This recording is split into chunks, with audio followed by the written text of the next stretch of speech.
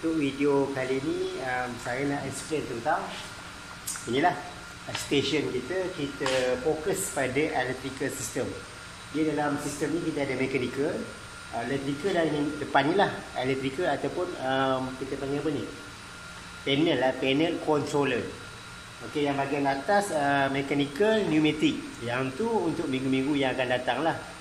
Termasuk mechanical nanti. Kemudian di atas dia ada pneumatic. Pneumatic pun uh, minggu-minggu yang akan datang. Bukan minggu lah. Mungkin makan sebulan ke hadapan.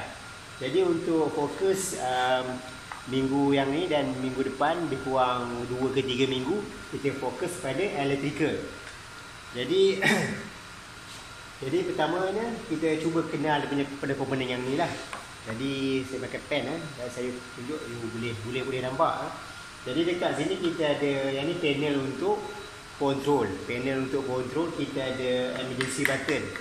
Emergency button warna merah sebab tu warna merah maksudnya dia kena aware selalu lah emergency.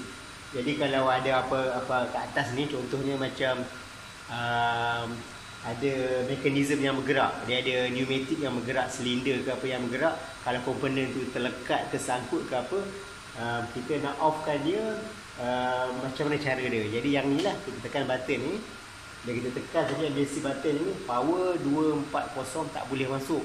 Jadi sistem ni akan stop dengan sendirinya. Jadi kita boleh remove lah apa-apa error yang berlaku. Uh, kalau ada benda terlekat ke body produk terlekat apa kita boleh remove. Kemudian kita boleh release balik lah. Kita nak nak uh, on kan dia kita tekan dia button ni. Kita boleh tekan. Okey kemudian dia release kita pusing dia.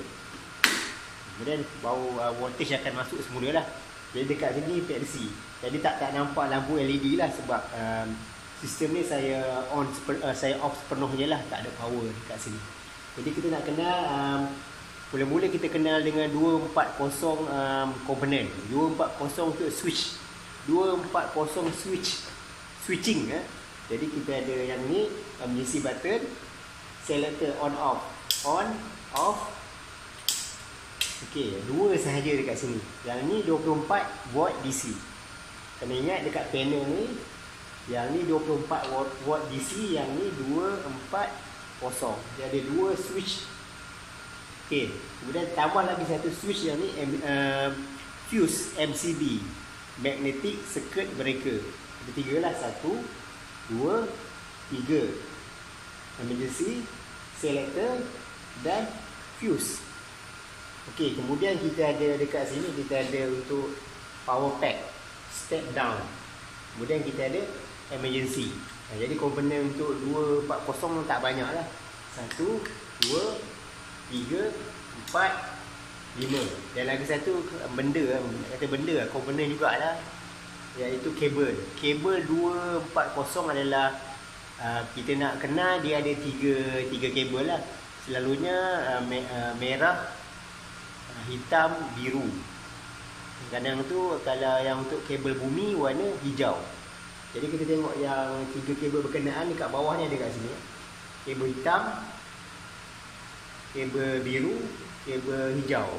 Ini untuk live neutral earth. Tiga kabel. Jadi saya ada tiga kat sini pun tiga uh, bumi bumi di atas kemudian untuk light tengah yang warna biru ni untuk neutral tiga satu dua tiga Okey, maksud yang ni 240 pun maksud ada tiga kabel ada ada lalu kat bawah ni lah. Tiga ataupun dua kabel lalu kat bawah ni. Yang ni pun ada dua kabel live live kat sini ya. Live masuk kat sini dia keluar kat sini live. Neutral masuk kat sini dia keluar kat bawah ni.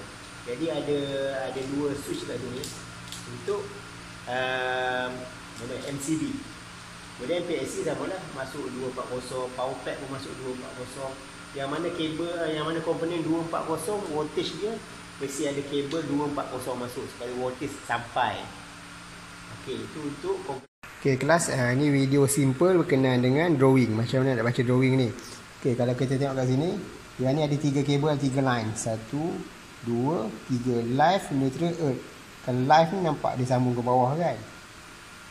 Dan neutral pun dia sini dia sambung ke bawah. Dan yang ni bumi.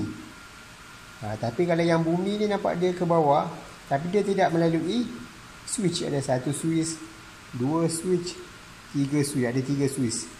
Yang ni on off, Yang ni emergency button dan yang ni MCB. Ha, jadi nampak bumi, wire bumi ni dia dia tak dia tak lalu pun dekat switch, dia terus direct pergi ke PLC. Ha, dan dia tap kat sini dia pergi ke terus pergi ke power pack.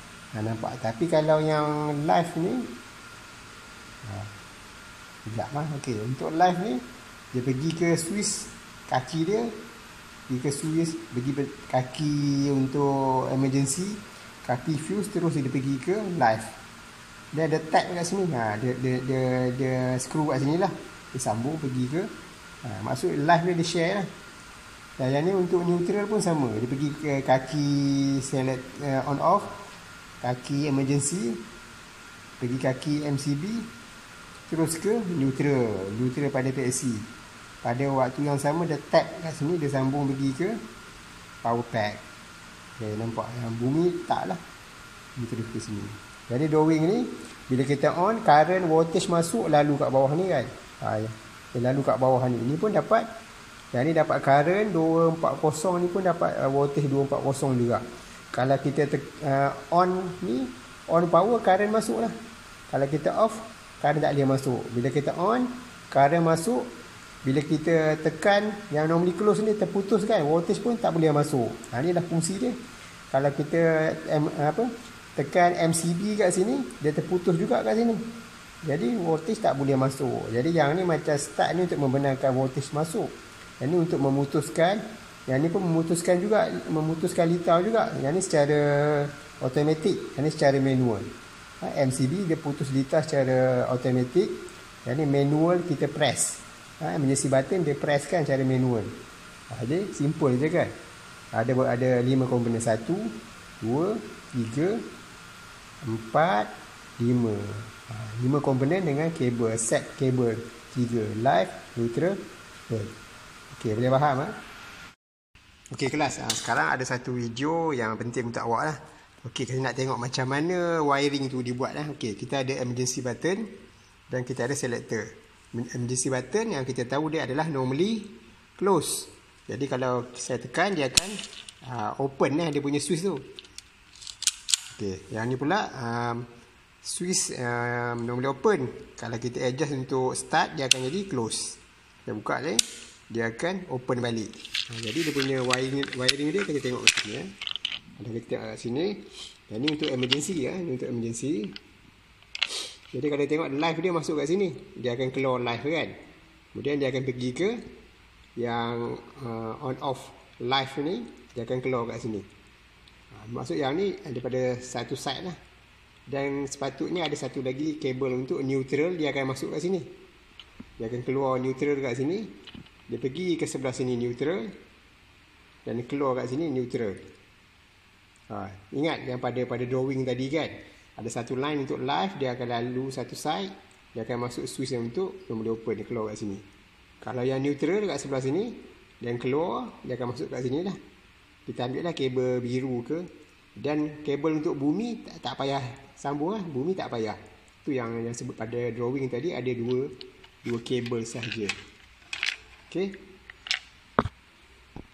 Okay, thank you kelas. Uh, itu sekian lah untuk video penilaian komponen 240 watt uh, AC.